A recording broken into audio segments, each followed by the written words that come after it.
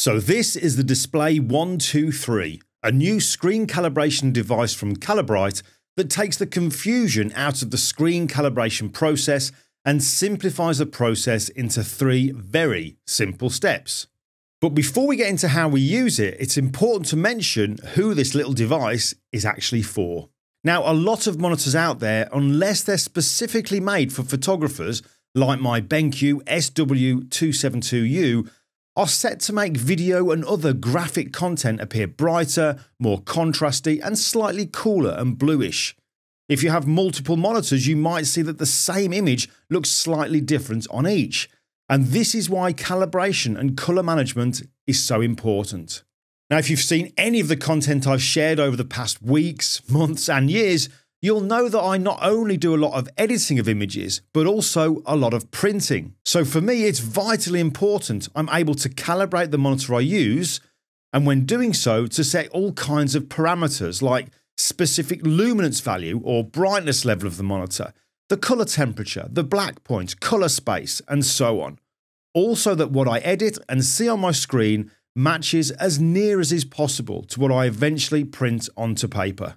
So, with all of this to consider, the Display 123 is not actually for me. The calibration device I use needs to offer more, which is why I use the Display Pro HL.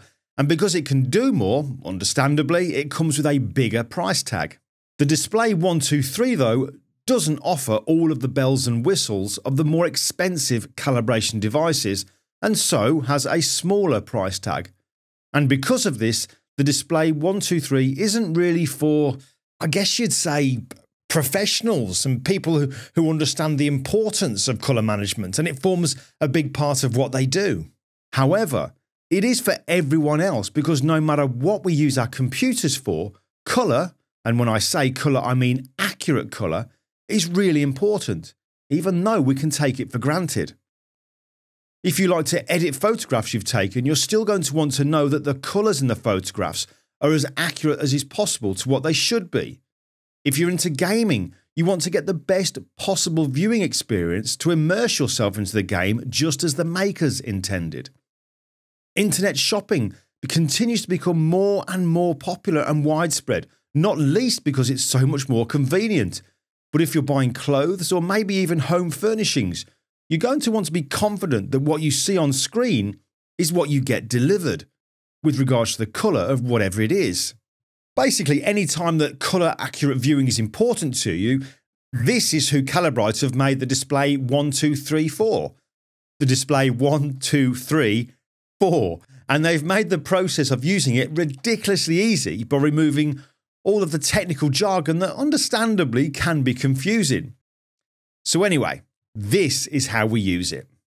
You plug it into your computer using the USB C and then you'll see that it's powered on because of the flashing light on the top. Then open the Calibrite Profiler software.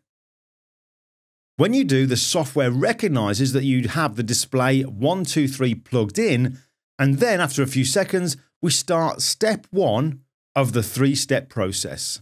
In the center here is where you'll see your monitor listed. Now you can see I have two monitors connected the BenQ SW272U and the BenQ PD3420Q. Now, 2 is the maximum amount of connected monitors that the Display 123 can deal with. So if you have more than that, either disconnect one of them or you'd need to use a more advanced calibration device. So I'm going to calibrate the SW272U and we can see that the icon for it has a yellow outline. If I wanted to calibrate the other display, I'd simply click on it but I'm going to stick with the SW272U. Underneath, we have native or photo, and this is referring to the luminance, or keeping it simple, how bright your monitor will be following the calibration.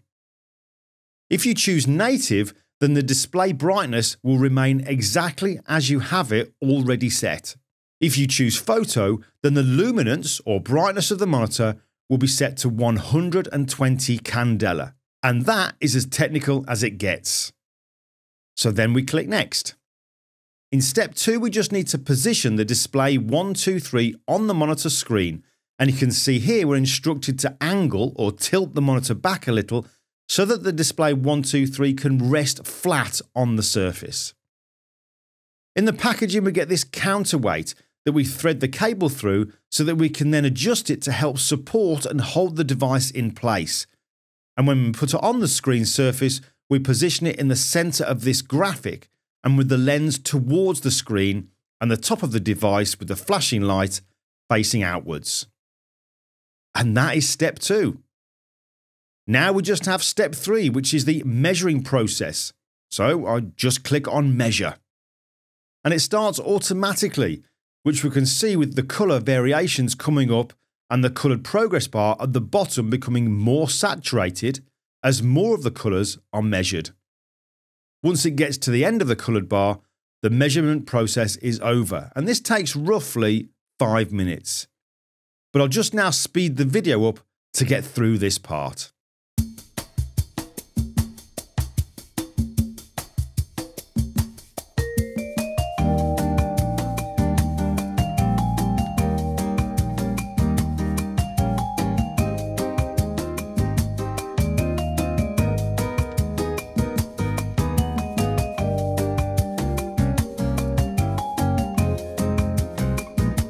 So when the measurement process is finished, the software gives the resulting profile a name, but this you can change if you want to by simply clicking in the text box and typing whatever you prefer. You can also set a reminder of one, two, three, or four weeks for when next to do a calibration. And rather than a pop up appearing when it's time, you'll receive an email, which is why you need to put your email address in here. If you don't want a reminder, just choose none and then you don't need to add in your email address. And then click Save.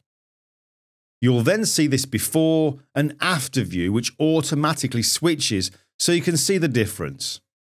And that's it. Done. So just click on Done and then quit, unless you want to calibrate a second monitor. So that's the display 123 from Calibrite, which, like I said, isn't really aimed at the professional, people who have an understanding of colour management and calibration, and for who it's a vital part of their workflow. But it's more aimed at the everyday person, the person who uses a computer and for who, without maybe even realising it, colour accurate viewing is important because no matter how new monitors are, they don't always display colours accurately.